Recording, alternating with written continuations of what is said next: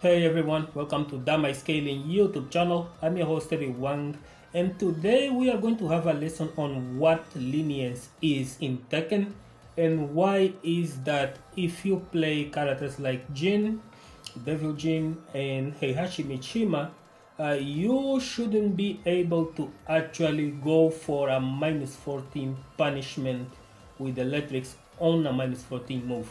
For example, I'm gonna start this with Jin, then I will show you Kazuya, and then I will show you Kunimitsu. Kunimitsu has a DP which is very similar to electric. It has the same motion input and everything, but it can be buffered. Uh, but although that move will always come out at uh, 14 frames, uh, Jin and Kazuya in Mishimas in general the, the three frames that it requires to do a 14 frame move, it's only attached to to the motion of the crouch dash, but animation of the electric itself, it's 11 frames and it has two active frames. Uh, so I'm going to show you Lydia first. And as you guys can see, I'm already dropping this.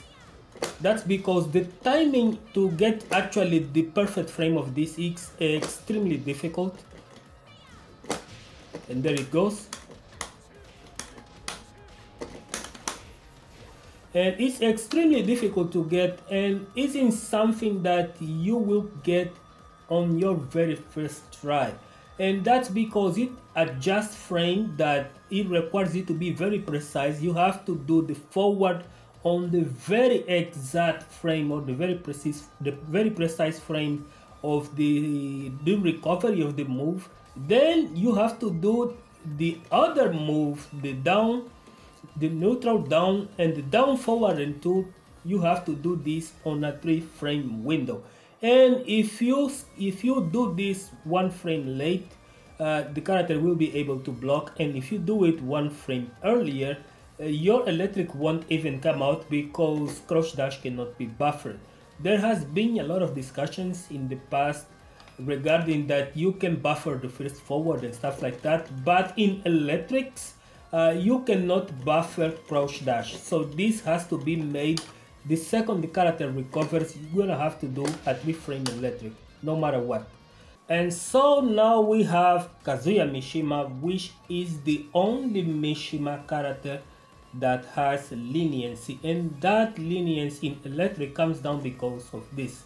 And that my friends it's a mist step and this is a step that allows Kazuya to actually have the lenience that no other Mishima in the game has. So what this step does is something that we have covered before on season 3 but our microphone was too trash and our views were our subs weren't really that much higher and that makes Kazuya skip one frame on his electric execution and make it 13 frame instead of 14. So what this does for Kazuya is the following.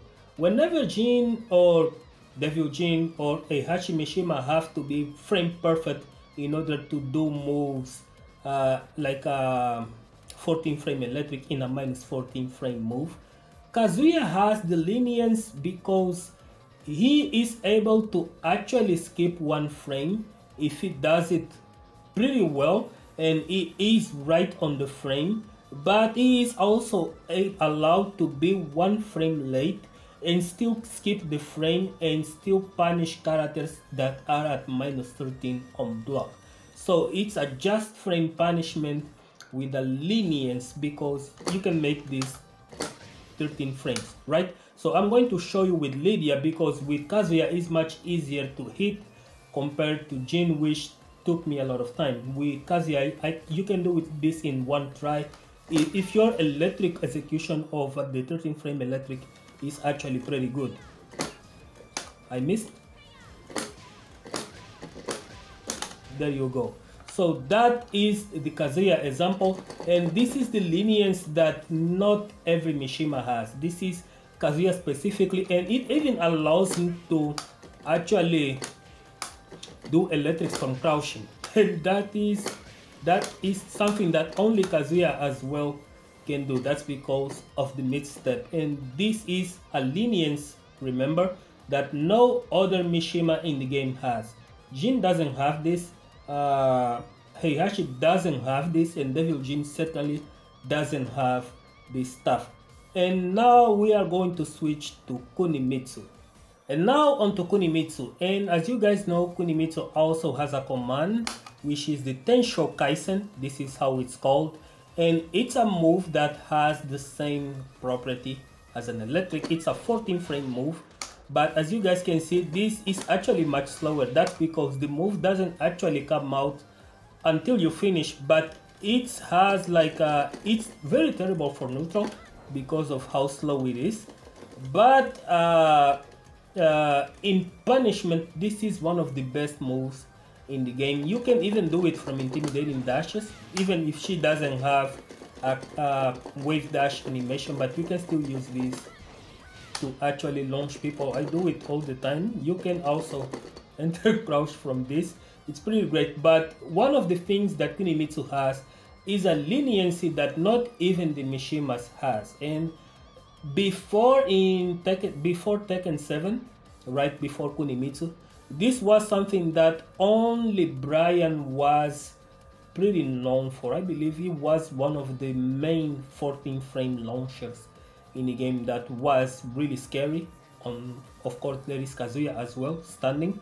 But uh, Kunimitsu brings this to a whole new level because this is a bufferable electric per se. So it doesn't matter if I do if I do this on frame or not, as long as I do the, the code uh, during a block stun, I will always going to get uh, the punishment. Doesn't matter what minus 14 frame move is. It doesn't really matter as well uh, the block stun of the move because this is something that a lot of Mishima players really try to go for punishments with electric and we strongly advise you to not do this because the block stun on certain moves actually varies. For example, this one from Lydia is a little bit more heavier compared to a down forward two from Ganja, for example.